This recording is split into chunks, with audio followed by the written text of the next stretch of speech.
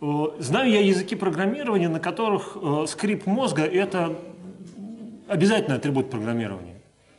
То есть вот не поскрипевший ты не получишь ничего. Да? И Haskell не самый, не самый сложный из них. Вот. Кому как это, кто любит скрипеть мозгами, ну, есть такой очень древний язык программирования APL, посмотрите на него. Вот. Понятно, никто не знает, что такое PL. Ну, посмотрите, просто посмотрите. Вот, значит, э, то есть некоторый баланс между ручной и мозговой работой. Вот. Что, в общем, что, в общем, э, наверное, и есть э, цель, когда вы выбираете инструмент программирования, ну, скажем так, по себе, да? Вот. Значит, ну, кто-то любит программировать копипасты, и он выбирает язык, на котором удобно программировать копипасты. Кто-то любит как бы э, долго думать и, и, изрыгнуть какую-то страшную конструкцию, которая работает, ну, соответственно, выбирает такой язык. Питон где-то, на мой взгляд, где-то посередине, где-то сбалансирован. Вот. Я, кстати, хочу похвастаться. Мы тут на семинаре написали, написали параметрический декоратор. Вот он. Эта игрушка, угадай число. Вот. Значит, итератор, пардон, параметрический. Да? Да. Вот он инициализируется максимальным значением, диапазоном от 0 до 1000 загадывается число. Вот. А потом, значит, вот он инициализируется. Это, это при первом ините, при первом next. Вот. А потом он э, э, выводит э, строчку какую-то, самая первая строчка guess what, а дальше она будет less equal или greater. Вот. Вы ему скармливаете число, а он вам отвечает less equal или greater. Вот и все. И так по кругу, до тех пор, пока ask не окажется equal, и тогда он вываливает этот equal и, собственно, stop iteration. Ну и циклик, который позволяет в эту игрушку играть. Вот. Поскольку число а, а, загадываются в диапазоне до 1000, а циклов вам дается всего 10, вот. Но я тут поиграл сам с собой и 8 раз из 10 проиграл. Хотя, по идее, должно быть 5 из 10, потому что, ну, 2 в 10 вообще-то 1024. И э, если вы аккуратно делаете бисекшн в голове, то вы всегда придете за 10 итераций. Я соврал, даже 10 из 10 должно было получиться. Потому что вы, если вы аккуратно делаете в голове бисект, вы за 10 итераций всегда придете к правильному решению. Но я делал неаккуратно. Вот. Такая вот, такая вот процедура. Понятное дело, что, понятное дело, что э, на самом деле нам здесь не нужен э, параметрический итератор. Потому что ничего из этого контекста не сохраняется. Ask у нас, в смысле, num у нас константный, он генерится и не меняется. Ask у нас э, приходит от пользователя, ну, в смысле, guess. Да? Ask это, это, это ответ на guess. То есть, в принципе, э, э, э единственная роль генератора в данном случае это то, что он хранит логику в себе, вот это. То есть у нас есть некая функция, мы ее дергаем, она что-то отвечает. Мы с тем же успехом могли написать просто функцию.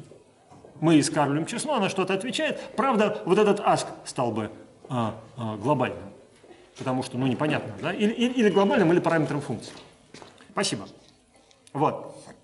Значит, а, а, в действительности же а, свойство итератора не только в том, что он Эм, является, как и функция, хранителем некоторых, э, некоторых эм, значений, которые нам не надо в глобальный namespace проваливаться. Вот. Но еще и в том, что его контекст сохраняется на время повторных вызовов, в отличие от функции, который, контекст которой не сохраняется. Так, это значит у нас вот нормальная клавиатура. А, так вот, говоря о namespace, да, в пространствах имен. Мы с вами привыкли считать, понятное дело, что это пока, что это исключительно по течению того, как мы разговариваем про питон. На самом деле мы с вами все знаем про пространство имен больше. Вот. Но пока что мы привыкли считать, что в питоне есть пространство имен глобальное, и локальные пространства имен, э, которые присущи контексту вызова функции. Пока, значит, функция, вызов функции существует, значит, имена там э, э, существуют, как только она заканчивается, то есть вы выходите из функции, соответствующее пространство имен удаляется, за исключением той самой, того самого замыкания, да, что если мы так внезапно написали наш код, что некоторые бывшие локальные имена а точнее не имена, а объекты, на которые ссылались локальные имена, нам потом нужны еще, то они залипают в замыкание и там живут. Кстати сказать, приношу свои извинения относительно демонстрации, попытки демонстрации замыкания с помощью Python-тьютера. Как выяснилось, Python-тьютер неправильно рисует вот эти стрелочки. Вот. Значит, э, в конспекте лекций э, про замыкание там э, было чуть более это не здесь. Там я написал, не в конспекте, а в плане, который я модифицировал, там, что это такое? А, вот. Эм, в плане, который модифицировал, там был э, более четкое объявление, объяснение того. Вот. Значит, пространство имен. А, на самом деле когда я говорю, вот смотрите, вам придется заводить 100-500 э, глобальных переменных, глобальных имен, чтобы разные ваши функции э, к этим глобальным именам могли ходить. Да? Эм, на самом деле, я немножко кривлю душой, потому что, в принципе, вы же можете создать модуль на питоне, в который сложить все нужные константы, функции, вообще все. Выглядит это чудовищно просто. Любой файл на питоне является модулем на питоне. Вот. Ну, реально. Давайте попробуем сделать вот так. Да?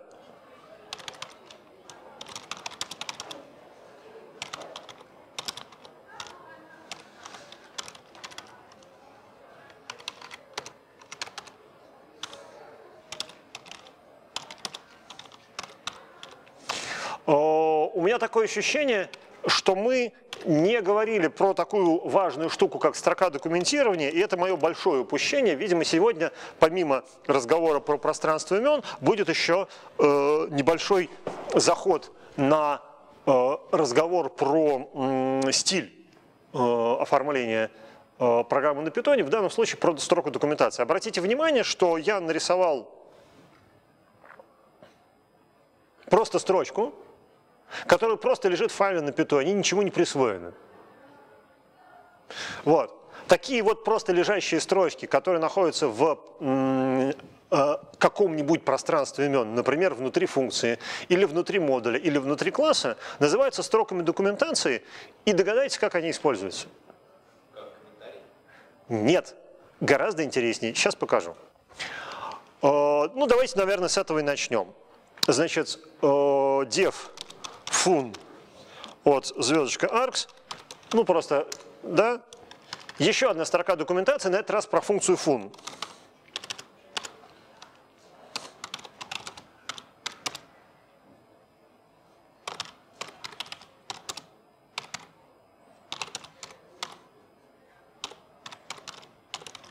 С вашего позволения не буду делать ее многострочной, и так ясно, что она может быть такой.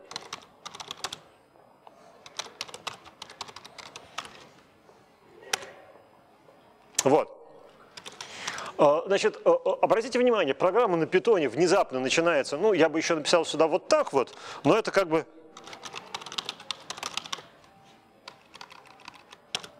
Это как бы не относится напрямую к нашей теме, это э, так называемый шибанг, э, или знающий комментарий, который указывает, тут буква «Н», тут, который указывает э, э, э, любой POSIX подобной системе, что данный Э, файл является исполняемым, ну точнее не так, может быть исполняемым, что он является исполняемым, надо еще xbit поставить. И интерпретатор, который будет его исполнять, называется вот так.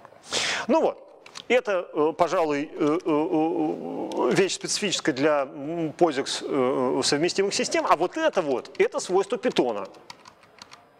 Висеть вот этой строке документации в, ни, в, ни, в нигде. Вот. Но сейчас мы ее, до нее достучимся. Значит, давайте мы этот, да, Python 3 минус i. Да, вот. Фун. Видите? Ну, все хорошо. А теперь ответ на вопрос, где используется строка документации.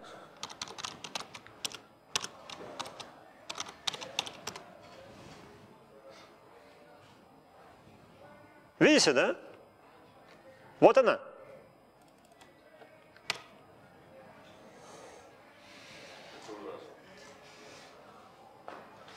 Спасибо. Я прежде чем я сформулировал на языке, как бы сказать, обычном, что нужно сделать. Вы, как, да, спасибо большое. Вот. Э, ну, естественно, ничего чудесного, как обычно, в питоне нету. Это на самом деле просто поле, которое называется как? Dog. Фун. Бла-бла. Dog. Бла-бла. Вот он. То есть, когда вы э, формируете объект на питоне, э, являющийся контейнером пространства имен, будь то модуль, э, функция, класс, э, вы можете в этом контейнере повесить э, никуда ни, ничем не связанную э, строку, и эта строка будет синтаксически восприниматься как строка, строка документации, и э, она на самом деле свяжется вот таким полем doc, вот, и будет доступна, э, например, функции help. Вот. Возвращаясь к пониманию того, что такое модуль. Вот эта программа наша прекрасная. Давайте мы в ней напишем еще какой-нибудь код. Print куку. Как уже было сказано, является также модулем. Ее можно выполнить так. Вот. А можно сказать так. Ай, нет, не так, это плохой питон, негодный. Вот, можно сказать импорт, внимание, модул.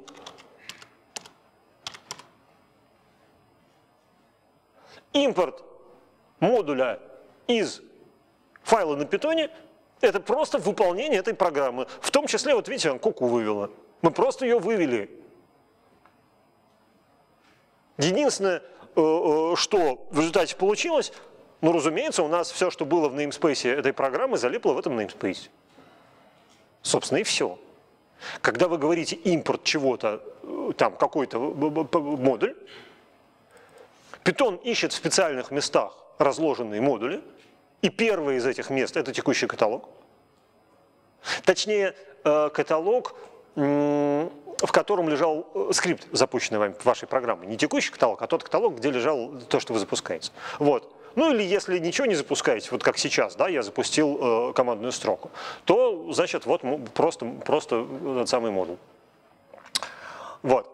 Э, когда находит, говорит, окей, мы модуль нашли, сейчас мы его проимпортируем и просто его, ну почти просто, э, почему почти, поговорим чуть позже, и просто его выполняет.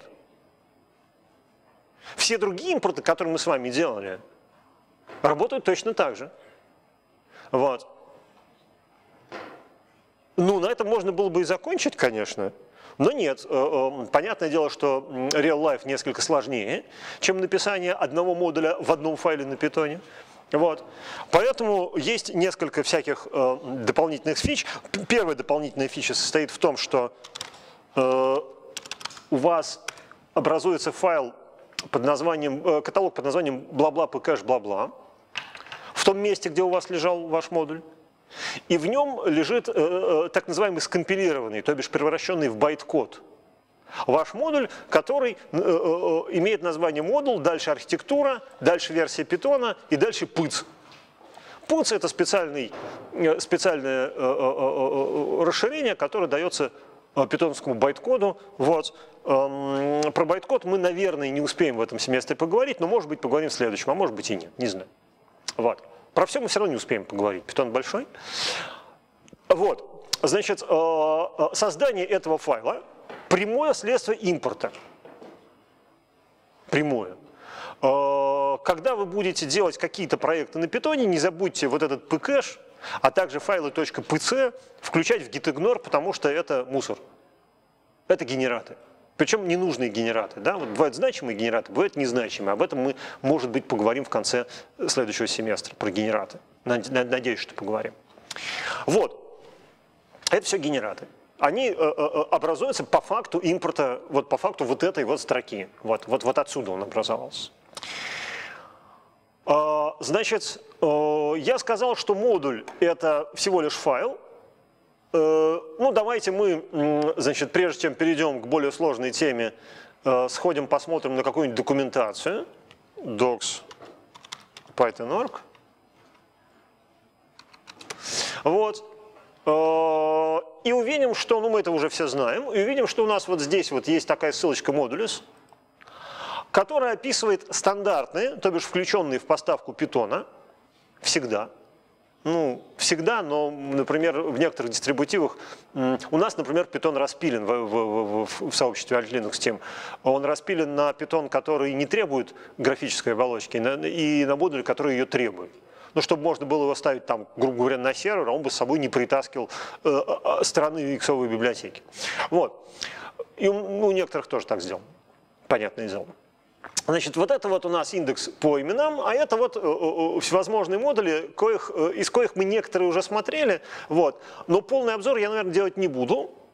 Просто для, потому, что у нас тема немножко другая, да? Значит, не, не, у нас не тема библиотек стандартных модулей. Тем не менее, мы знаем, что есть модуль math, мы знаем, что есть модуль какой-нибудь э, э, э, рандом, который содержит э, случайные числа, где он тут, вот он, рандом, да? Мы знаем, что есть модуль itertools, в котором мы даже тыкали, вот, ну и так дальше. Вообще говоря, э, в этих модулях, среди этих модулей есть модули, грубо говоря, пошишты на все случаи жизни, такие низкоуровневые. Вот. Ну а если вас не устраивают низкоуровневые случаи жизни, то э, надо идти куда?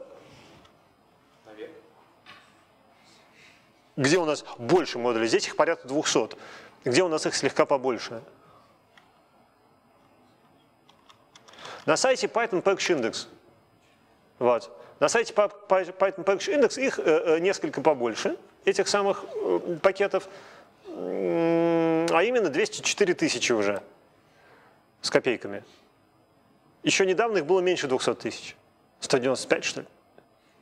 Вот. Это модули, да. Это, это модули питона. Причем все под свободной лицензией. То есть такие, которые можно просто брать и использовать в своей программе. В том числе и в продакшене.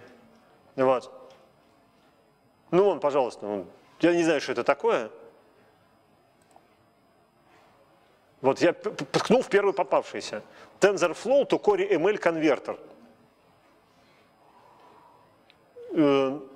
Э, у меня есть какие-то смутные воспоминания относительно обеих этих, обоих этих терминов, вот. но поскольку они смутные, я не стану позориться и говорить, что знаю, что это такое. Вот.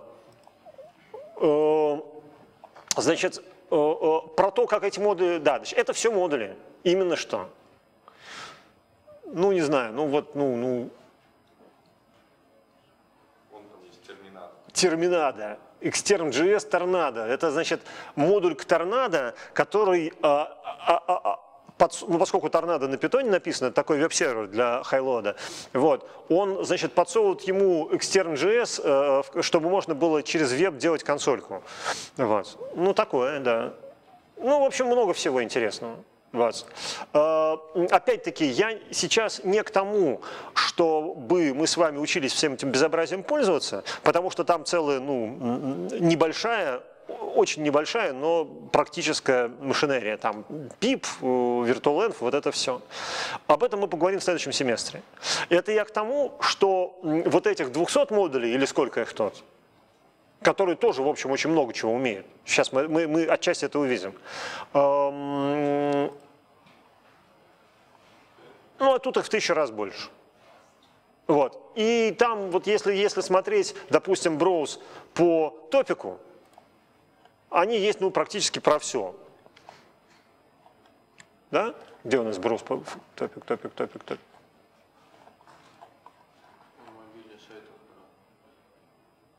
А, да-да-да, он открыл мобильный сайт, потому что он увидел, что разрешение очень маленькое.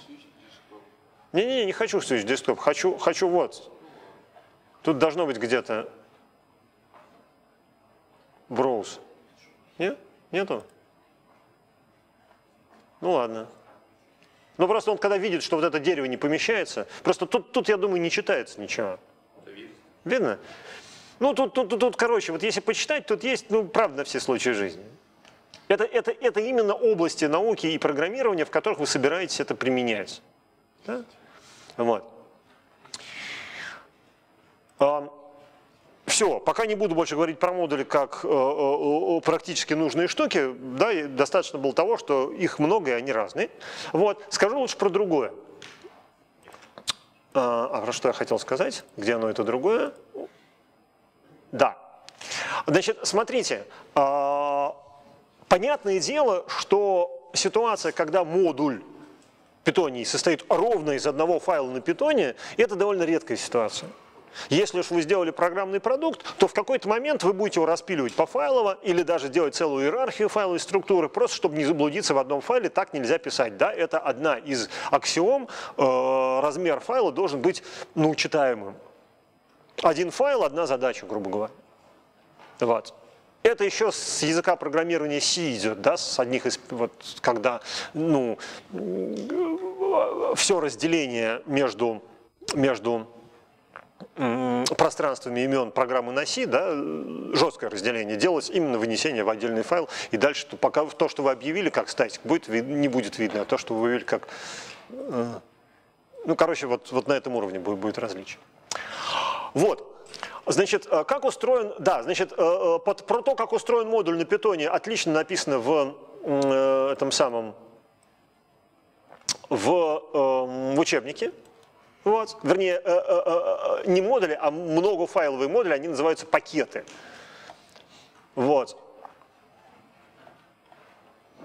Сейчас, чуть дальше. Еще чуть дальше. Пакеты, вот, packages. Пакет – это многофайловый модуль на питоне, который отличается тем, значит, почему, фактически это просто каталог. Почему питон, когда вы говорите импорт, в данном случае sound,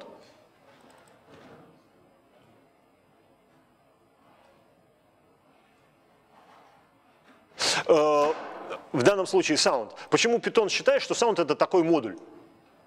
Потому что в каталоге sound лежит э, файл бла-бла init бла-бла.py. То именно поэтому сам факт наличия этого файла init, он может быть даже пустым быть, нулевым. Но сам файл наличия этого файла init означает, что данный каталог является питоним модулем, точнее пакетом, у которого есть собственная структура интересная. Вот. Значит, вот здесь вот э, э, э, нарисован такой пакет, который содержит подпакеты формат, effects и filters. Вот. Ну, а у меня, я тут э, поупражнялся на досуге э, и написал тоже такой пакетик маленький. Вот. Вот смотрите, давайте мы прям откроем окошечко, и в это окошечко будем создавать этот самый э, пакет. Значит, он будет называться package. Не то. Вот это. mkdir package.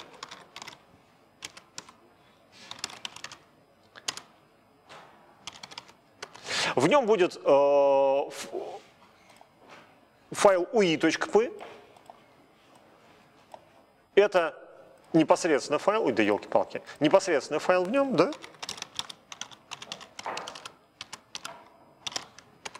Он здесь нужен только для того, чтобы только для того, чтобы э, э, э, показать, что не обязательно в пакете будут еще подпакеты. В пакете может быть прямо модуль лежать. Давайте мы его, кстати, эм, отредактируем, как мы хотели. Да? Напишем, что это user интерфейс воображаемый.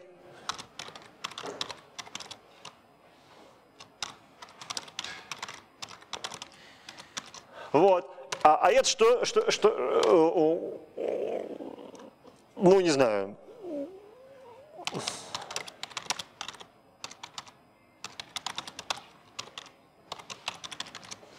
Вот. Инферфи... Господи, прости.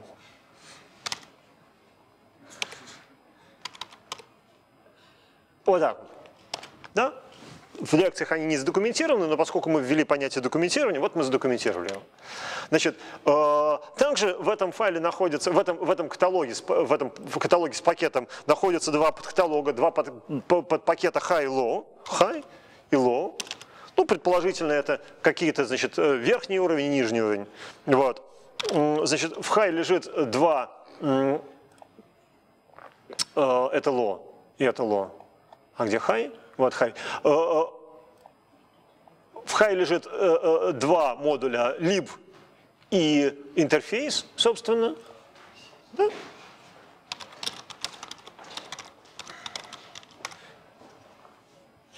Вот. Опять-таки давайте его отредактируем, чтобы он был задокументирован. Да? Значит, это, это модуль интерфейс, user интерфейс. И здесь либо... Э, это, нет, internal library, это библиотека, да? Там libshow, значит, это библиотека. Internal library. Ну,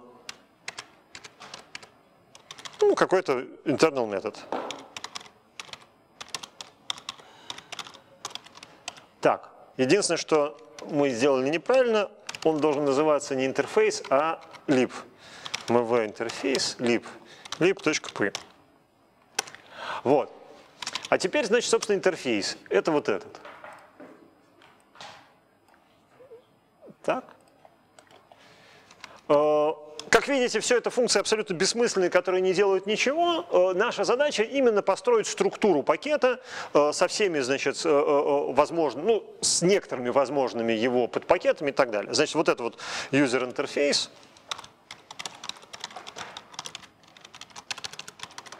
Да? Это, собственно, какой-то его шоу.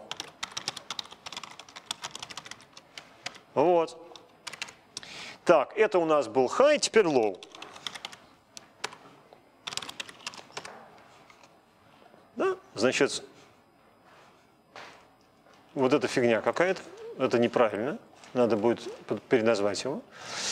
А, вот это что у нас? Липпы, да?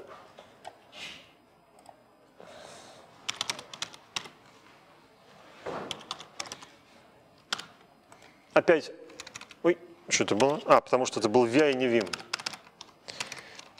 Да, надо Vim сказать. Вот, ну опять же, это что такое? Только это low. А, ну да, все правильно. Low level internal library. Вот. И здесь понятно, что это debug. Debug function. Понятно, что на самом деле это плохой help. В правильном help должно быть написано, какие параметры, что она делает. Ну, бог бы с ним. Так, и последний э, штрих – это э, backend. Да, вот.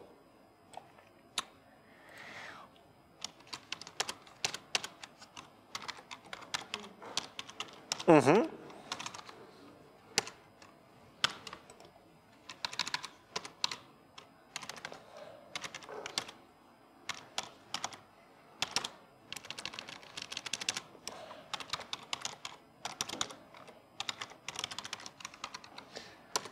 Нет, только не library, а это прям такой вот backend, прям вот так вот какой-нибудь, да?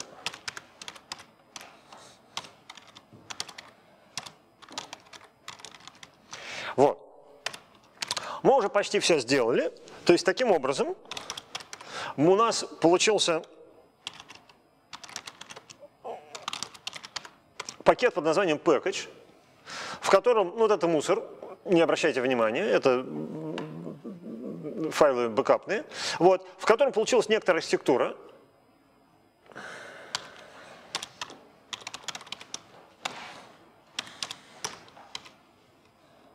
Давайте мы это удалим. Он там болтается?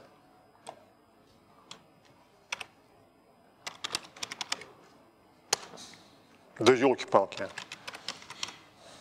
Вот приставучая. Все норм. Это, это бэктики. Смотрите, Кто учился на втором курсе? Э, это бэктики, они э, что делают? Они э, подставляют результат работы вот этой команды в качестве строки. Да, да, да. Вот, собственно, этот RM будет применен вот к этому списку. Собственно, вот, э, вот. Видите, как чистый и красивый. Вот. Вот такая архитектура. И мы сейчас можем этот пакет, мы, мы сейчас не можем этот пакет проимпортировать, потому что он пакетом не является до тех пор, пока у него бла-бла и нет бла-бла не будет написан. Да? Давайте его создадим, пустой файл, package. А, давайте вы для начала поверьте мне, что это так. Да? Оу. Он,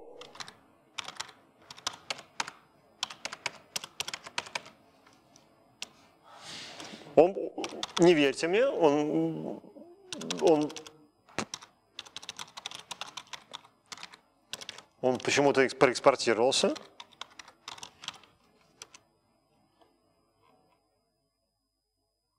Хм. А, обратите внимание, что несмотря на то, что мы в этом пакете сделали под пакеты, да, у нас есть только... Он говорит, что контент только UI. Вот, по какой-то причине. Давайте мы разложим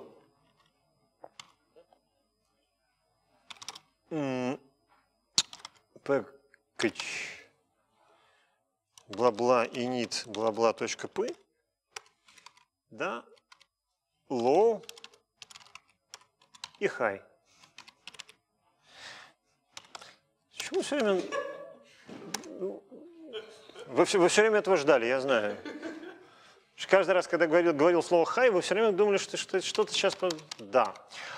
А, а, кстати, что будет, если сейчас сказать import package? О, смотрите, что он говорит. Смотрите.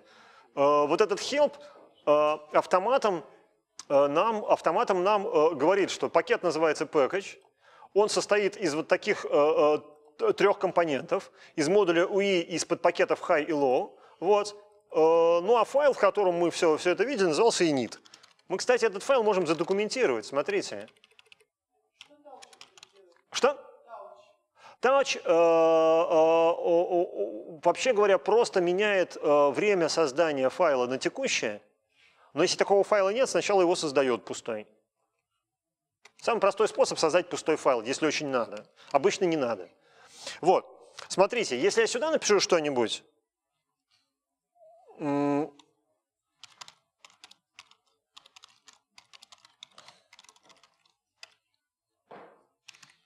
то внезапно... Ой, нет, не получилось. Я, может быть, не так сказал? А, вот так вот.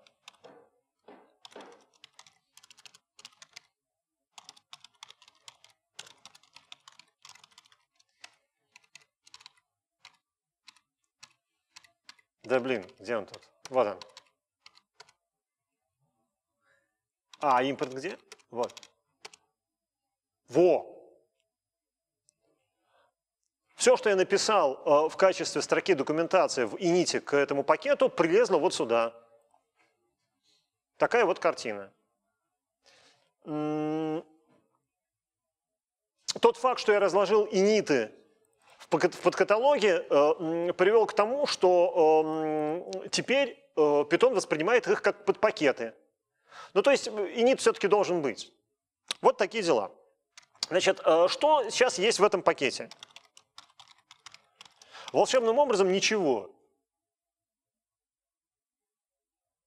Почему? Потому что, когда вы создаете сложный пакет, довольно было бы глупо обходить его рекурсивно и при первом же импорте э, всасывать все символы. Это может э, быть тяжелая операция. Вот. Даже если мы напишем from package import звездочка, боюсь, что сюда не прилезет ничего. Ничего. А для того, чтобы такие штуки работали автоматом, вам нужно в файле init описать список тех подмодулей, подпакетов, которые по умолчанию импортируются. Вот сейчас не импортируется ни один. А если мы э, здесь напишем э, что-то типа бла-бла, дайте подумать, all, что ли, вот так вот, да, равняется, и дальше список того, что мы хотим, high, low, UI. Хорошо, сейчас поправлю. Дайте подгляжу, я не помню, all большими или маленькими? Маленькими, я ошибся. Вот.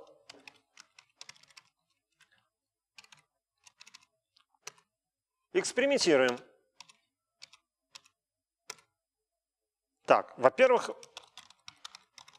что-то изменилось? Ничего не изменилось. А если я напишу from package импорт звездочка? О, вот они. Вот они все приехали. UI.UI, кукареку. Хай. Эм, что там у нас было-то? Интерфейс.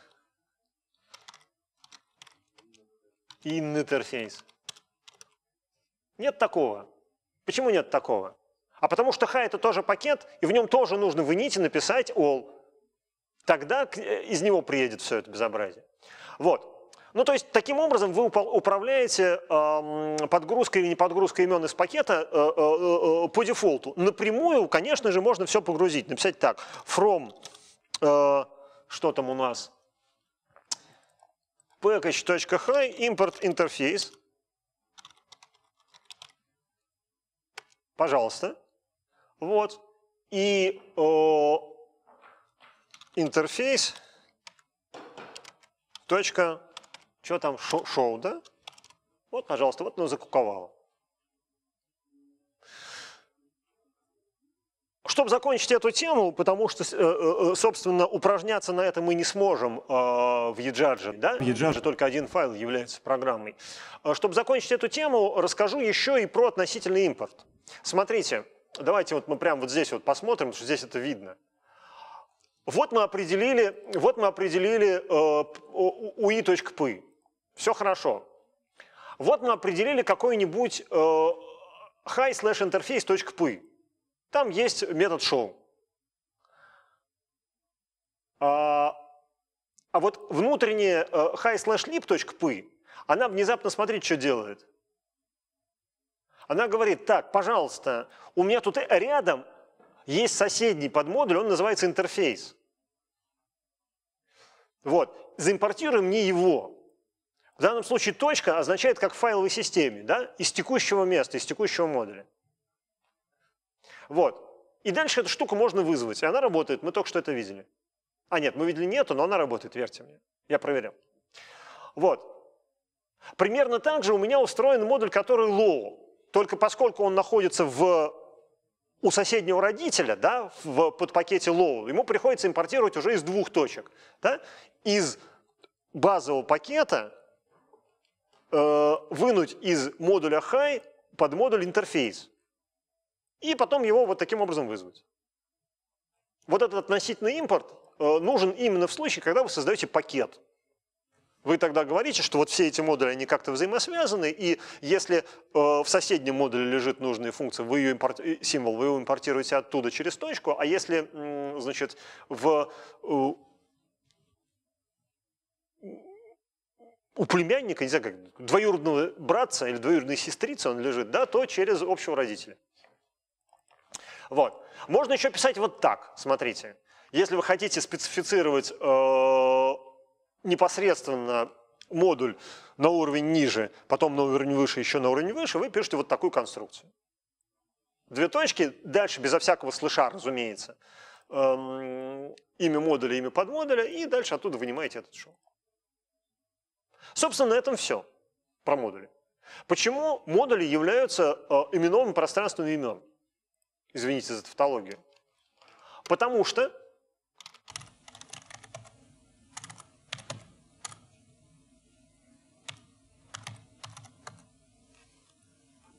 В отличие от всех объектов, с которыми мы имели дело до сих пор,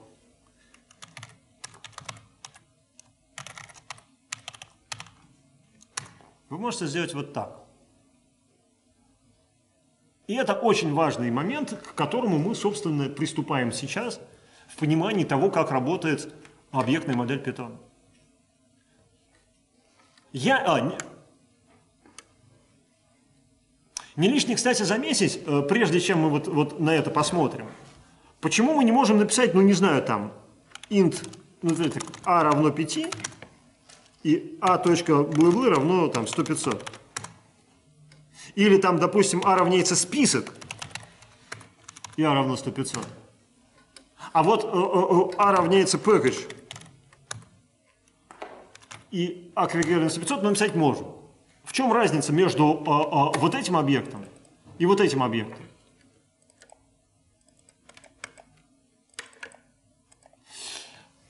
Это еще одна вещь про модули, которую я не сказал и которую я сейчас скажу прямо сейчас. Вы можете писать модуль не только на питоне, но и подсовывать... Э, сейчас я умное слово заменю на нормальное родные для той операционной системы, в которую вы запускаете Python, библи... разделяемые библиотеки, оформленные в соответствии со специальным API. Если это Linux, то это просто будут ISO-файлы. То есть модули на питоне бывают питоновские, а бывают и бинарные. И э, в случае, если э, модуль написан на C, и он предоставляет интерфейс к объектам, э, которые написаны тоже на C, ну или там на чем угодно, ну обычно на C пишут, то, скорее всего, он не предоставляет интерфейс модификации пространства имен объекта, написанного на C, иначе у всех оторвет крышу, в том числе у вас, в попытке реализовать все это безобразие на языке программирования C. А вот если модуль написан на питоне и объект реализован на питоне, в него можно добавлять какие угодно поля. Мы с вами знаем один хороший объект, Э, э, тип объектов, написанных на питоне, в который можно добавлять какие угодно поля. Что? Нет. Он тоже написан на C. Ну же. Громче.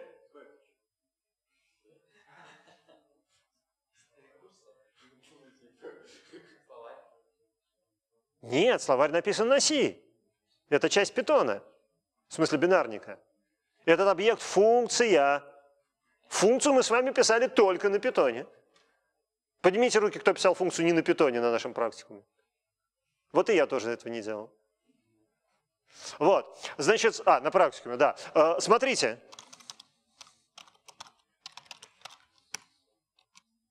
Чего тебе не нравится? А, естественно, чтобы ей нравилось-то. Мне тоже не понравилось. Да, да, да, да, вижу, что это У. Смотрите. Э,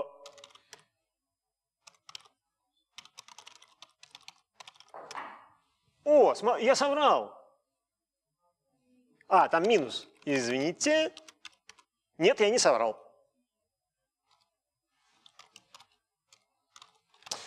Еще раз э, прочувствуйте это. Любой питоновский объект – не являющийся встроенным в Python, является именованным хранилищем как бы, пространства имен. Обратите внимание на то, что вот это пространство имен фун ничего не имеет общего с контекстом вызова. Помните контекст вызова, как выглядит? В нем вот этого всего безобразия нету, а зато есть локальные переменные, ну, локальные имена. Здесь же нет, это сам объект фун так устроен, у него есть куча всякой фигни, видите? И эта куча всякой фигни представляет собой на самом деле словарь, как мы помним. Вот. И мы можем просто в него добавить любое поле, вот, вот оно добавилось, вот оно, вот оно. Вот. А, С другой стороны,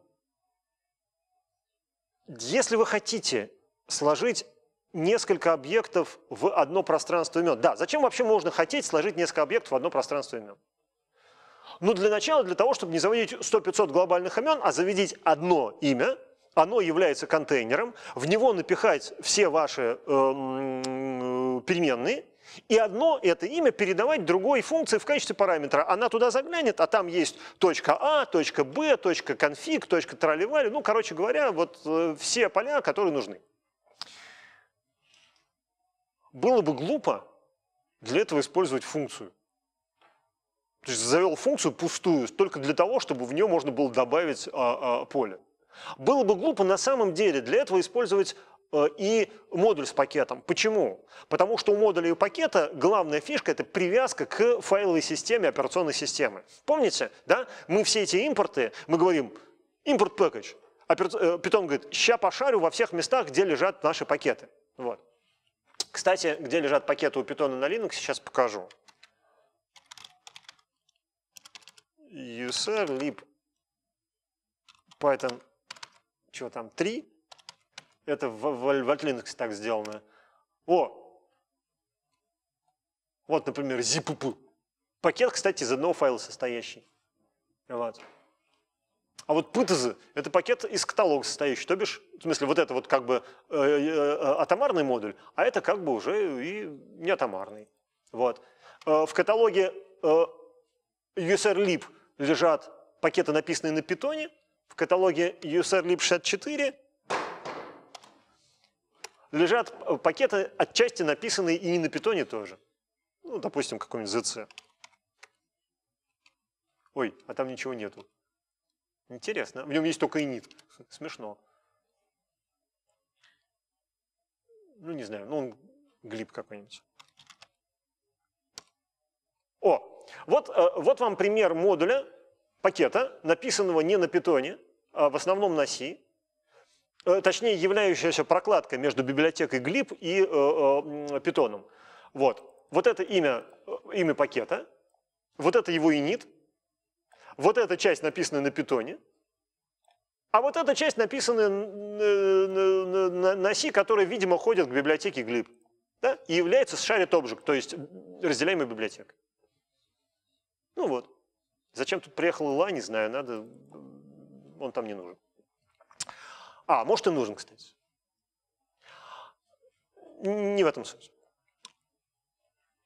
То есть мы сейчас узнали несколько способов организовать локальное пространство имен, в котором мы можем положить, что хотим, и потом им пользоваться как таким контейнером. Ни один из этих способов не является, ох, сколько отрицаний, не является неизвращенным.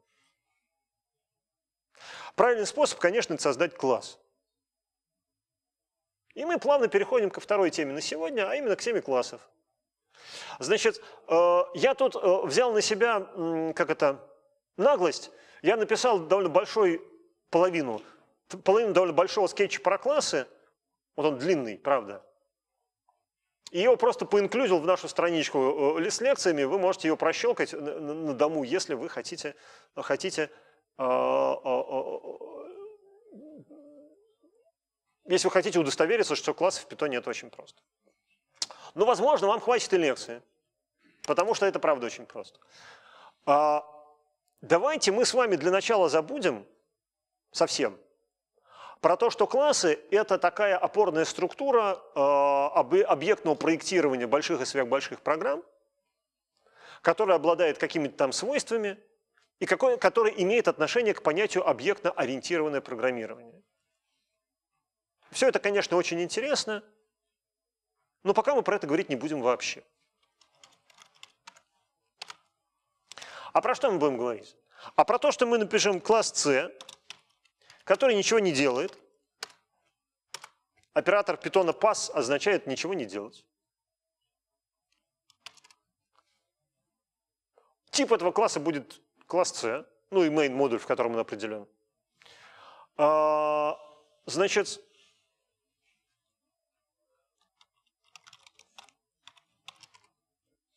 Что с ним можно сделать? Зачем мы его создали? Пустой класс. А ровно за тем, чтобы класть туда, чего хочешь.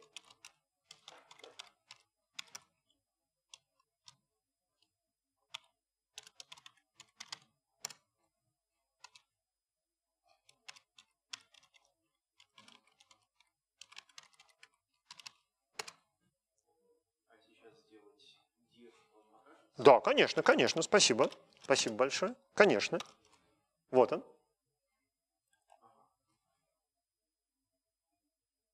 То есть таким образом мы создаем э, довольно на самом деле сложноватый, но по крайней мере предназначенный для этого объект в питоне, в котором мы можем хранить произвольные поля. Теперь мы можем сделать что? Теперь мы можем в эти поля насовать всякую ерунды. Вот. Ну, например, давайте мы прям файлик напишем, да? Э, смотрите.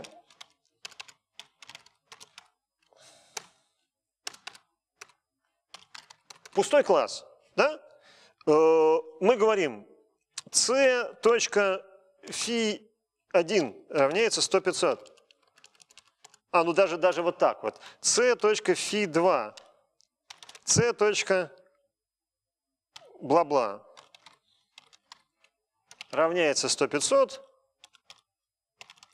42, разумеется, ну и куку. -ку. Да?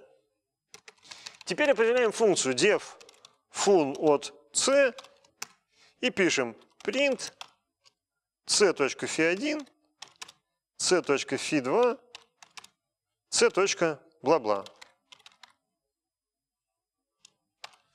Вот. И здесь пишем, что там, фун от c.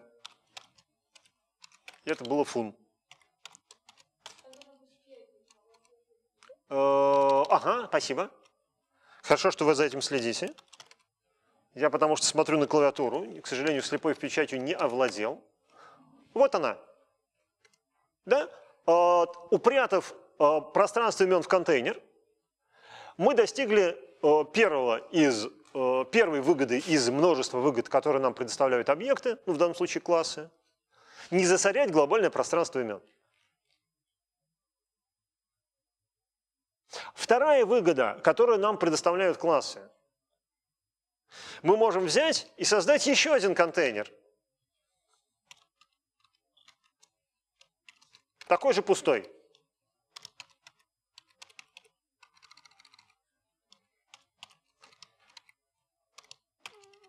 Да? Только положить туда все, все другое.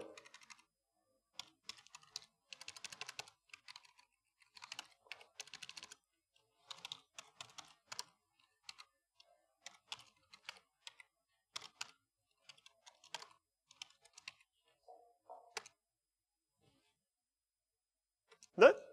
То есть, поскольку у нас typing, функции fun, вообще говоря, все равно, какого типа приехал ей объект, потому что он крякает.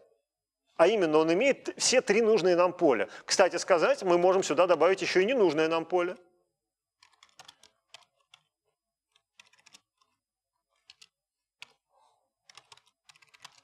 Это как повлияет на работу нашей программы? Правильно, никак. Вот. То есть, на самом деле, мы подступаем к э, пониманию того, что э, с помощью дактайпинг мы можем э, одни и те же э, по одинаковому устроенные э, пространства имен э, обрабатывать одной и той же функцией, передавать туда разные значения. Вот.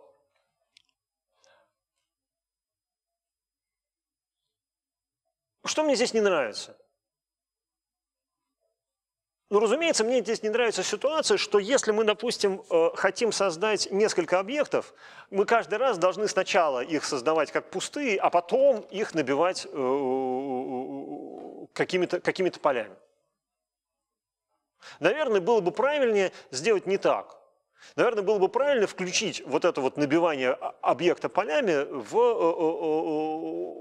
э, синтаксис описание класса. Ну, давайте так и сделаем. Да? Вместо класс D напишем здесь что-нибудь типа такого. Э, что там? φ1 равняется... Э? Можно, кстати, через запятую, да? φ2 равняется... Э? И бла-бла равняется вот. И тогда мы можем даже вот это и убрать. Инициализация полей класса у нас произойдет, и все продолжает работать. Что при этом происходит? При этом э, э, в момент создания нашего класса D в нем появляются поля φ1, φ2, бла-бла, и они заполняются значениями. Опять-таки, э, пока что не происходит ровным счетом ничего военного. То есть от, от слова совсем. Понимаете, вот я убрал вот эту строчку, которая была вот здесь, да, и засунул ее сюда. Единственное ее отличие состоит в том, что мне не нужно специфицировать э, э, полем, внутри какого namespace я завожу поле φ1, φ2 и бла-бла. Потому что вот оно, это, вот он этот namespace. Да? Это все происходит в namespace D. Вопросы вот на данный момент есть какие-нибудь? Я думаю, что все... Мы пока... Ага. У него будет, допустим, какое-то поле одно. Ага. Потом мы создадим другой объект. Ага. А мы еще не знаем, как создавать объекты. Если вы имеете в виду под словом объект экземпляр класса, то мы этого еще не делали. а, мы, еще не делаем. Мы этого еще не делали, да. Мы сейчас, смотрите, и это второй недостаток, который хотелось бы, э, хотелось бы как-то преодолеть. Второй недостаток стоит в следующем. Скорее всего, мы задолбаемся создавать руками класс C, класс D, класс E и так дальше, особенно в ситуации, когда они на самом деле состоят из одинаковых полей. Очень бы хотелось сделать так, чтобы вот этот самый класс нам конструировал объекты одинаковой структуры. Ну, как везде, как во всех языках программирования объект, объектных, так и у нас. Да? Не только использовался как пространство имен, но еще использовался как конструктор соответствующих объектов. Не вопрос. Давайте это сделаем. Что мы хотим? Мы скажем, что э, E равняется D, ну и F тоже равняется D. F равняется D, запятая D. Вот. И тут, соответственно,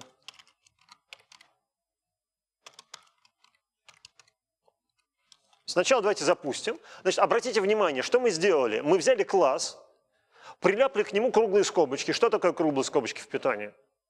Вызов. Вызов callable объекта. Класс является callable объектом, callable объектом всегда. И в результате получили некий новый объект, который этот класс сконструировал. Вот мы сейчас на это все посмотрим. Сначала давайте посмотрим просто так. It works. А теперь давайте посмотрим повнимательнее, потому что э, э, некоторые различия все-таки есть. Смотрите. Вот они у нас. CDEF, C, D, E, это не E, E и F. Видите разницу? Это вот то, что вы говорили.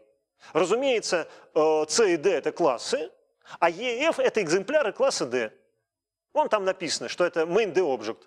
Причем это два разных э, экземпляра класса D, видите, да? Этот имеет такой идентификатор, а этот секой. Во. Как раз к этому мы и, спасибо, мы именно к этому и приближаемся. Начнем с того, что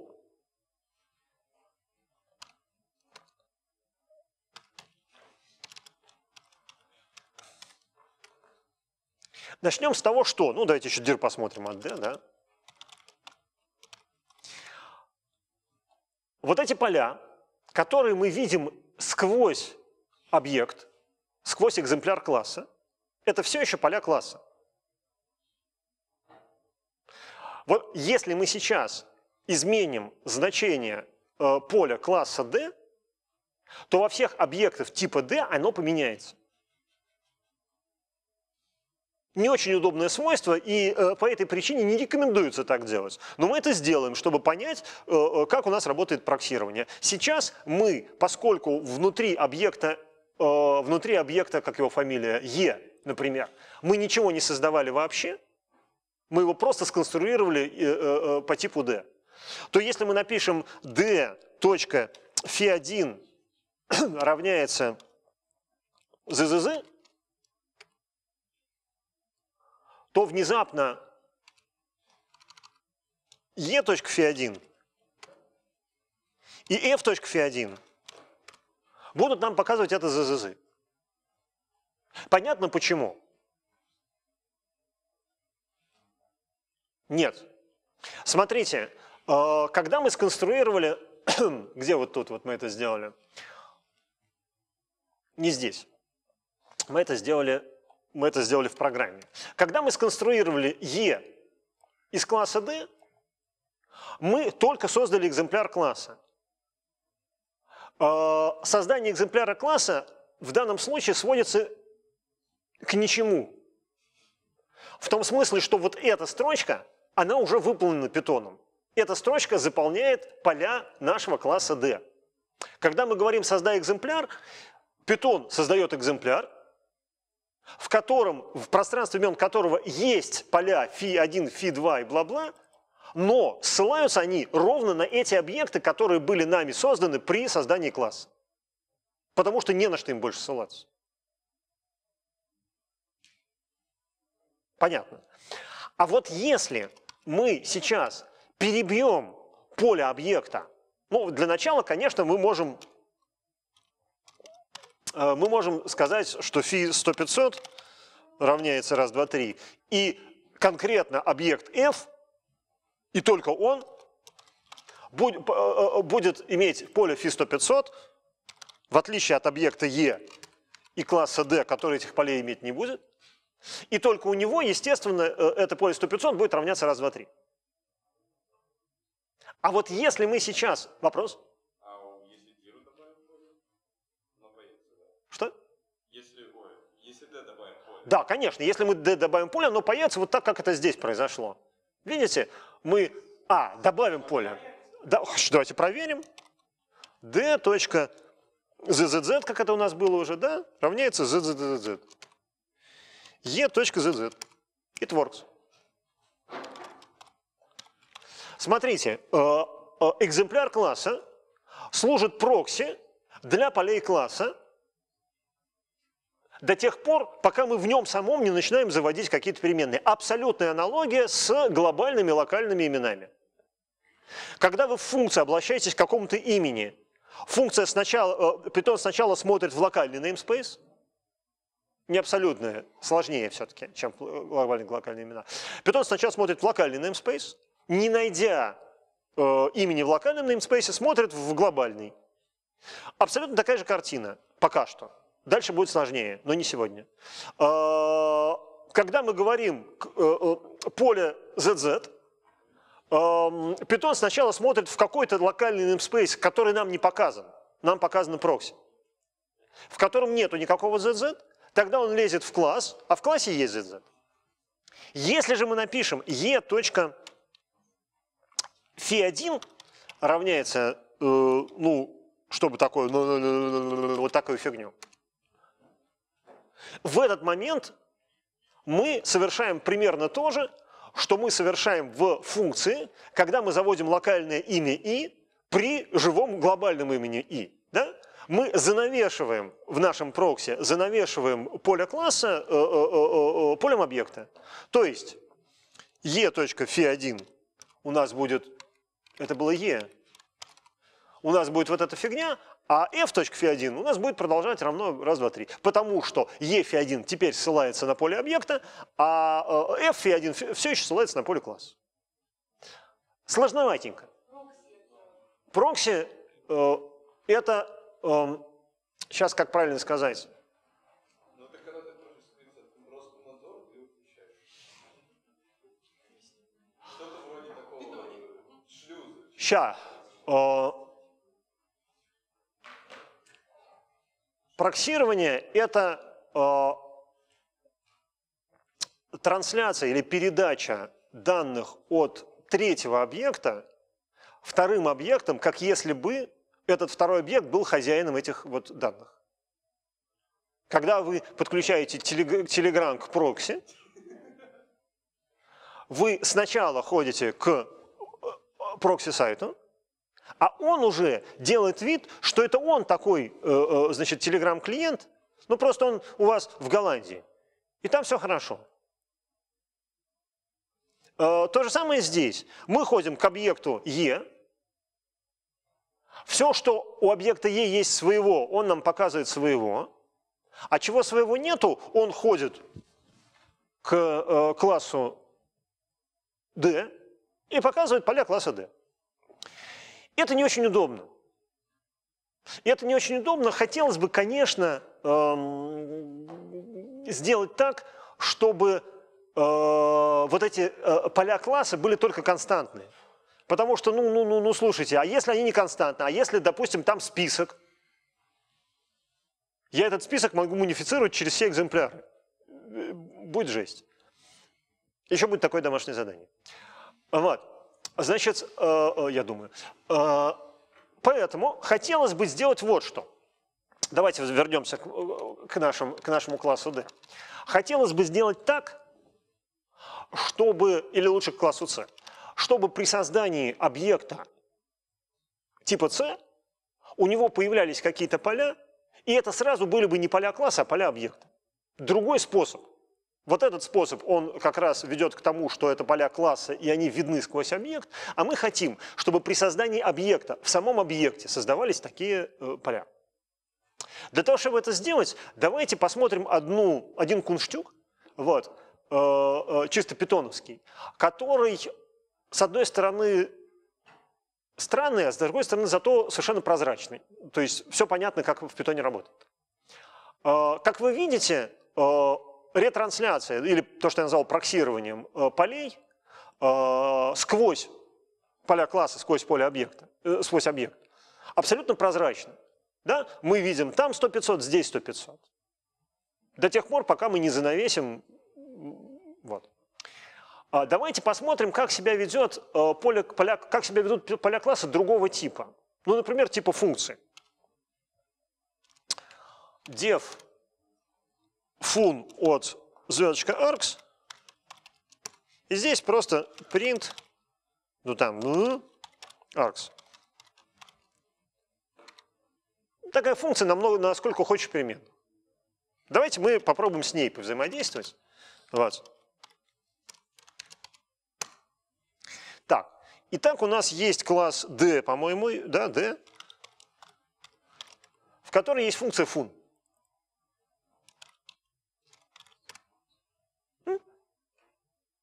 Как я уже сказал, класс – это такой namespace, в который ты что хочешь можешь положить. Например, э, положить туда функцию. Давайте ее вызовем, что ли.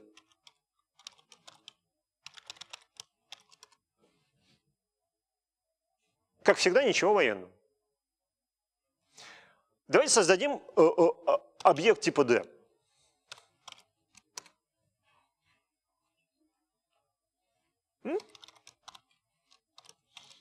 Все хорошо, вот они все поля, эти поля, это все, это все поля класса. Да? Вот. Ну, например, там d.фи1. Да? Все мы это видели. d.фун. Что изменилось?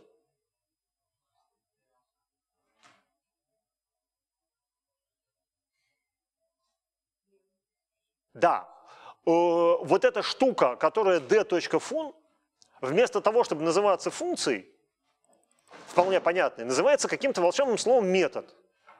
Мы же с вами привыкли считать, что метод это просто объект, точка, функция, да? Ну, метод. А смотрите, э, с точки зрения питона это сущности разных типов. А,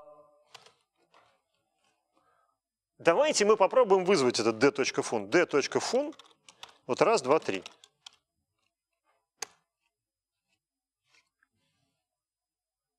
Чем отличается от вывода вот этого?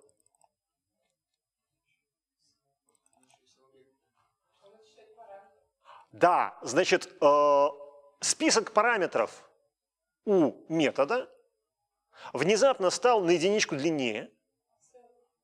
Да. И в качестве нулевого параметра э, в метод d.fun передалось что? Объект D ровно он. Я вот не зря написал здесь вот так. Видите вот это? То есть, когда вы проксируете, то бишь ретранслируете поле callable вашего класса, ну, то, грубо говоря, функцию, засунутую в класс, вы тем самым оборачиваете ее специальным вызовом. Мы же с вами проходили декоратор, вы теперь знаете, как это делается оборачивать ее специальным вызовом, который в качестве первого параметра э, вкрячивает туда, э, собственно, сам объект, чей это метод. Вот, вот, вот и вся разница. Да? То есть э, э для не был э, объектов проксирование совершенно прозрачное, вот. а для callable объектов оно вот такое – Почему это удобно? Потому что теперь внутри самого объекта мы можем создавать поля этого самого объекта, потому что мы знаем ссылку на него. Вот она. То есть если мы напишем, давайте вернемся отсюда, если мы здесь напишем вместо э, не args, а допустим вот так вот. Что это такое? Кто помнит? Да, это именованные... Э, нет, так неинтересно, будет слишком сложно. Давайте что-нибудь попроще. Давайте напишем лучше вот так. Вот фун э, e какой-нибудь, или пар какой-нибудь, да? И здесь напишем, э, нам еще нужно нулевым параметром э, э, э, ссылку на сам объект. Традиционно тут пишется слово self, но вы можете написать что угодно. Self нужен просто потому, что все привыкли, что там self. Это просто имя, оно ничего не значит. Вы можете написать туда, что хотите, любой идентификатор годится. Вот. Просто обычно туда пишут self. И напишем self. фи eld равняется пар. Что при этом произошло? Ну, для начала. Для начала мы по-человечески эту функцию не сможем вызвать как метод класса, потому что э, ему надо будет передать два параметра, а первый из которых должен быть каким-то объектом, в который мы можем вхрячить поле field. Непонятно, зачем это нужно. От слова совсем. Но, в общем-то, так никто и не делает. Классы обычно не используются э, в таком виде. Классы обычно используются для того, чтобы порождать объекты. А вот когда мы будем порождать объект, каждый вызов функции fun будет дополнительно передавать туда ссылку на объект, и мы тем самым вот здесь вот будем э, расписывать поле field именно этого объекта. Давайте проверим это. Это был класс D, да?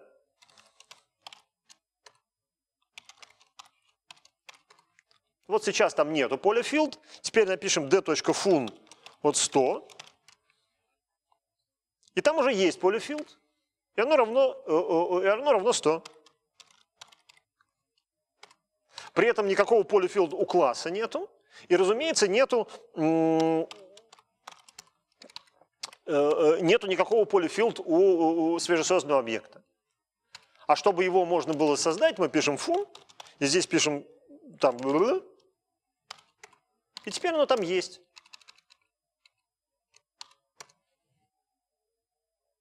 Наш метод поменял значение поля нашего объекта.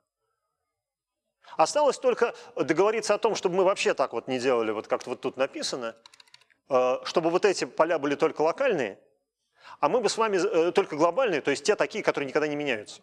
Поле класса – это такое, такое что-то, что мы менять не будем и занавешивать тоже не будем. А, эм, ну или, по крайней мере, договоримся, что мы их все равно будем перебивать.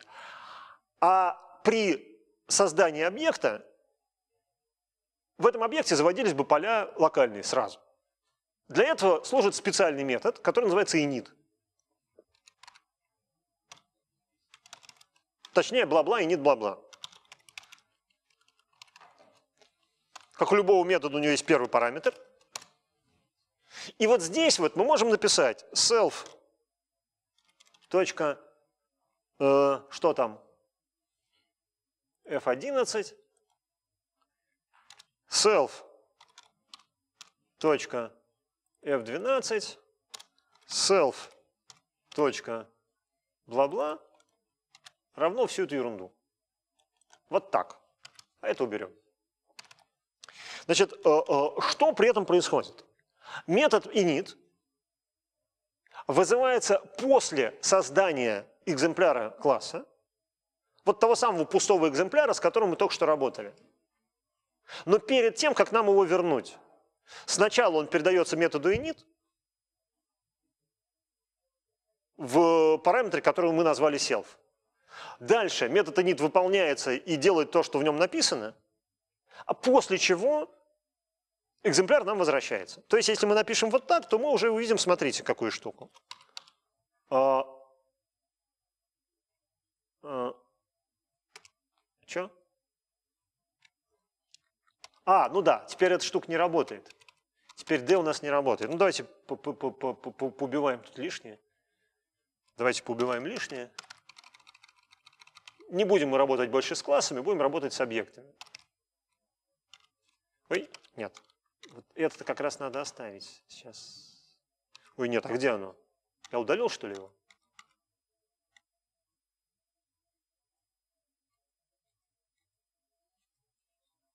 Я не понял. Я где-то в запале... А, во, вот оно, вот оно, все, все на месте. Во, вот так. Значит, э, э, еще раз.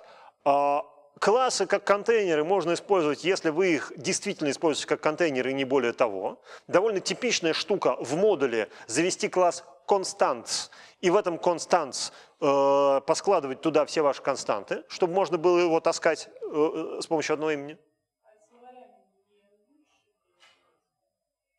Да без разницы. Без разницы, потому что на самом деле э, э, э, классы используются обычно вот так, как сейчас написано. Да? Мы берем метод init, мы в этом методе init создаем все нужные нам поля. Вот. Сейчас я еще научу вас передавать туда параметры, если вы еще не догадались как. Вот. И в результате мы получаем э, картинку, в которой все поля нашего э, э, объекта E, объекта F, это уже будут поля самого объекта. Никаких полей класса мы использовать не будем. Тут уже как бы мы что хотим, то и делаем. Ну вот так это выглядит примерно. Да? dir d. Видите, у нашего d есть только поле fun, а вот этих всех фи-фи-фи, они есть только в экземплярах. dir, там e или f. Вот они. Ну и все. Теперь мы, понятное дело, что нам в голову не придет, я надеюсь, перебивать поле fun у нашего объекта, мы можем это сделать. Но зачем? А вот э, перебивать, э, э, записывать эм, новые значения, связывать новыми значениями поля бла-бла фи1 и фи2, конечно, мы можем. Да? Вот. Давайте мы, знаете, что сделаем только? Мы определим еще один метод, хороший, годный. Он называется def бла-бла str бла-бла. Self. Нет, он str называется. Я его еще не определил. Или вы какой-то вопрос задаете? О, смотрите, э, размер букв значения не имеет, за исключением ситуации, когда вы уже договорились об этом. Есть, я об этом расскажу не сейчас, ладно? Есть. Просто он не такой простой. Вась. То есть там есть несколько соглашений одновременно. Так, мы подходим к концу, я еще одного вещи не сказал. Смотрите, что я делаю. Я определяю метод str для нашего объекта. Помните, что было, когда мы печатали, когда мы печатали этот объект, сейчас покажу, Э, когда мы говорили d просто, он говорил, что это объект там, во. Хочется, чтобы вместо этого он вывел красивую строчку о содержимом этого объекта, да? Вот для этого надо просто определить метод str, в котором сказать что-то типа return, return. Жалко, что здесь не 3.8 питон, потому что в 3.8 питоне э, там это было бы еще проще, но и здесь тоже ничего.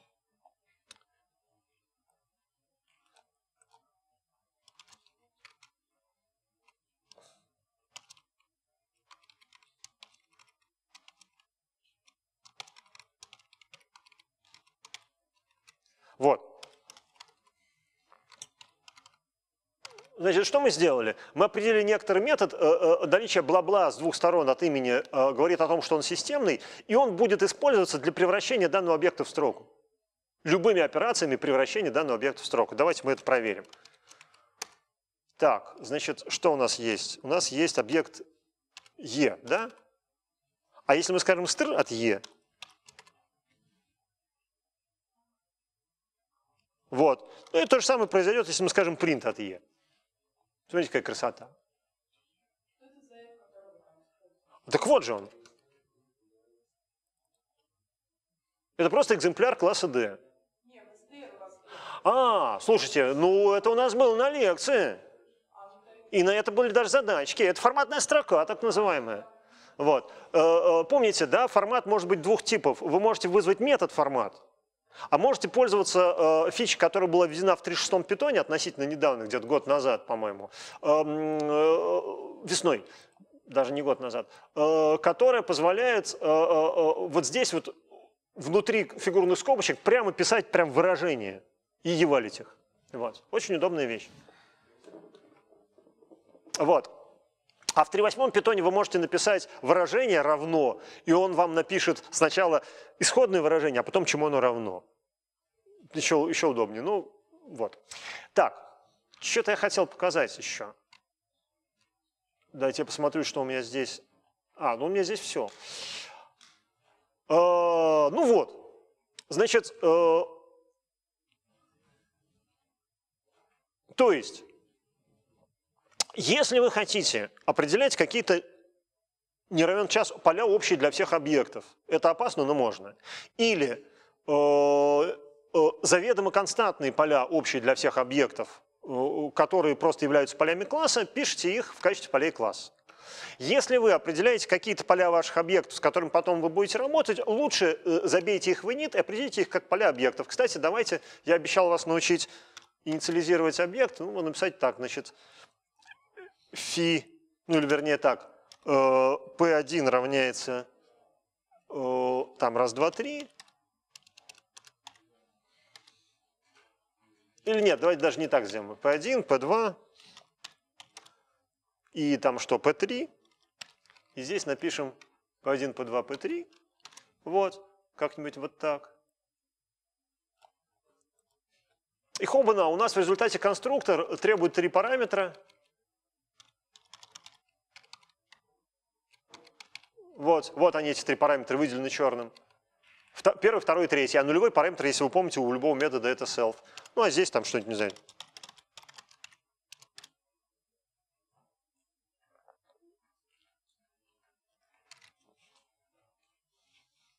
Вот. Это мы уберем безобразие. И здесь напишем print e, f. Вот.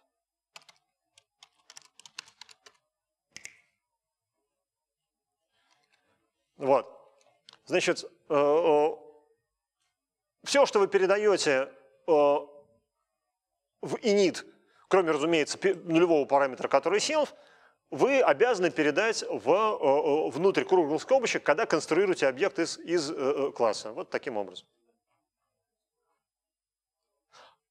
Это все, что за исключением некоторых сложностей, до которых мы дойдем потом, э, все, что следует знать про объектную модель в питоне, для того, чтобы начать проектировать какие-то объектные штуки на нем.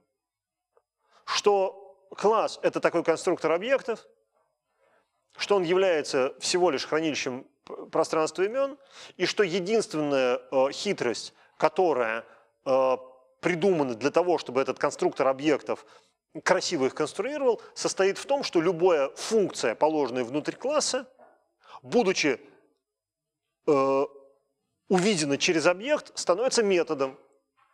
А метод отличается от функции только тем, что ему по умолчанию в качестве нулевого параметра передается сам объект, чьим методом этот метод является. Все.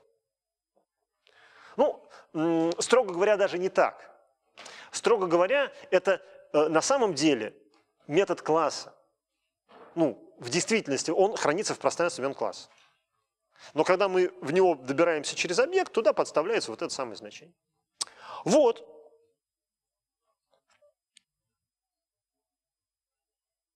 Ну, вообще говоря, все. Ну, то есть в том смысле, что э, э, ничего более удивительного чем то, что было рассказано, в питоновской объектной модели нет до тех пор, пока мы не говорим про наследование, разумеется, потому что там еще появится понятие э, МРО, как это расшифровывается-то? Чего-то resolution order. Почему мы? МРО. Не помню. Ну, короче, resolution order. Вот. А, метод resolution order, конечно. Вот. Относительно путаницы понятия поля метод и понятия поля, э, э, понятия поля. Метод и поле. Чем они отличаются? Не знаю, как у кого, но я всегда привык считать, что поле объекта – это просто инкапсулированное внутрь него какое-то имя, а метод объекта – это вызываемое поле. Вот поле – шапочное название, а метод – это такое поле, которое можно вызвать. Как видите, с точки зрения конструктора э, э, классов, э, ну, класса, эти штуки различаются сильно. Обычное поле, которое не метод, не преобразуется, а то поле, которое метод, преобразуется в метод, собственно. Вот. Для простоты будем называть полями не вызываемые поля, а методами вызываемые поля, чтобы не путаться. Если мы говорим поле, это значит, что это просто какие-то данные, а если я говорю метод, это значит, что это вызываемый. Вот. Ну, э, не, трудно, да, значит, пора заканчивать, да? Давайте мы здесь еще, допустим, напишем какую-то документацию. И здесь напишем какую-то документацию. И я расскажу про одну финальную штуку, на которой мы, собственно, э, и закончим.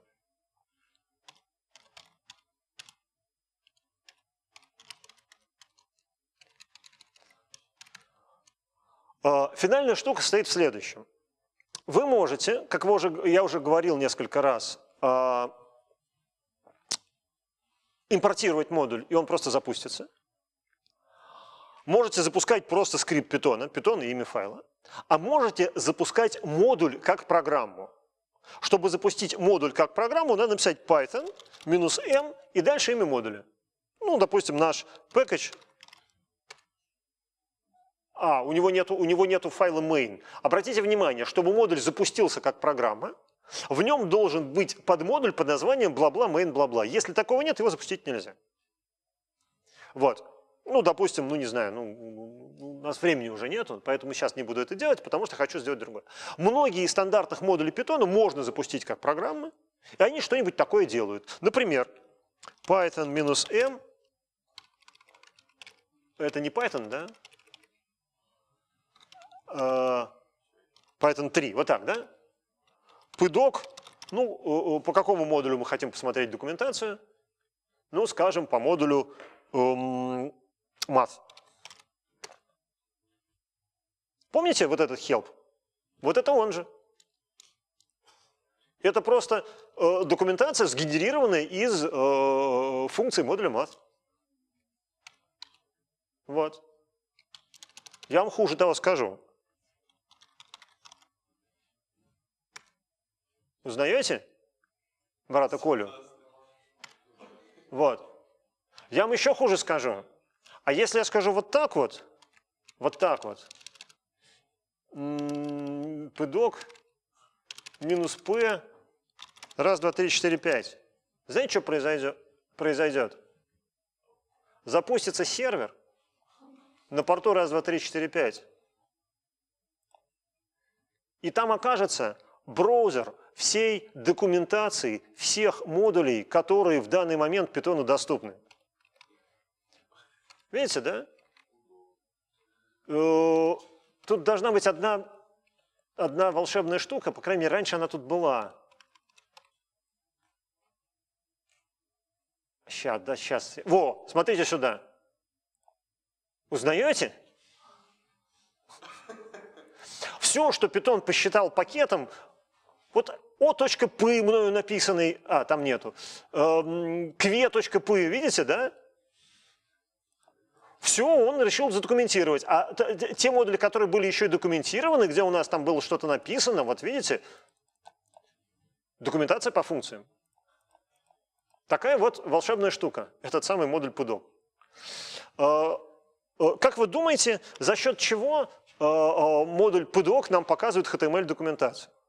За, то, что, за, за счет того, что в поставке любого питоновского э, э, дистрибутива входит HTTP-сервер Python 3 минус m http.сервер.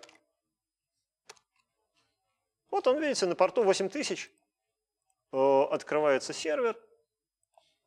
И что мы видим? Мы видим все файлы в нашем текущем каталоге, в котором мы запустили эту программу. Видите, да? Вот. Самый простой способ, если вы хотите по-быстрому поднять э, на текущем э, э, компьютере э, HTTP-сервер, чтобы кто-то мог скачать файл, вот он. Все. Больше ничего не нужно. Вообще ничего. Взял, вот сказал, только IP-адрес надо сказать. Вот этот. Если он не белый. Страдайте. Вопросы? Когда пишут документацию, ну человек пишет код, в какой момент э, потом он тестирует, Да. Значит, э, э, значит есть э, ну, правильный ответ всегда, потому что когда вы что-то модифицируете, вы модифицируете документацию. Есть такой стиль программирования, когда документация пишется вообще сначала. Более того, и тесты пишутся сначала. Просто они сначала не проходят, потому что ваш код ничего не делает, а должен что-то делать. Об этом мы говорим поговорим более подробно в следующем семестре.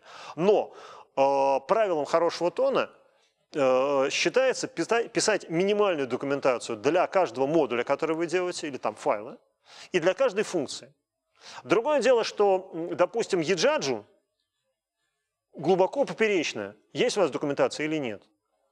А вот 321 группе, которую я все-таки надеюсь, я придумаю задание по практику.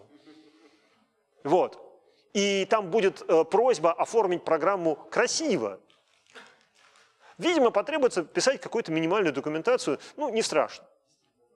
Вот. Еще вопросы?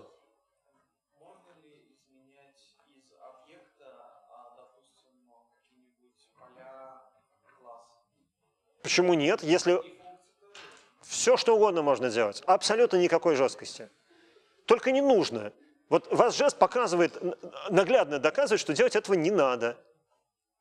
Вот. А можно Можно. Можно. Понимаете, да? А- а- сво- Степень свободы безграничная. Вопрос только в том, как это сказать, имеет ли смысл этим пользоваться. Вот в языке программирования Ruby, чтобы вы знали, а, переопределение а, полей класса в динамике работающего класса, уже работающего объекта, это норма. То есть деплоймент новой а, а, обновления ра- работающего кода на Ruby выглядит так. Вы подсовываете м, значит, новые классы с новыми полями в работающую программу. Вот. Более того, есть реализация рельсов и для питона, но я не видел, чтобы ей кто-то пользовался, потому что это, конечно, ну такое опасное действие. Вот. Но в принципе да, то есть возможны всевозможные, возможны всякие трансформации. Просто смотрите, в какой-то момент э, такие трансформации прекращают быть полезными практически и становятся упражнением по изучению питона, что тоже, в общем, не вредно. Упаси бог только это использовать в, в продакшене. Вот. Еще вопросы? Все. Все, мы и так уже выжили время. Спасибо.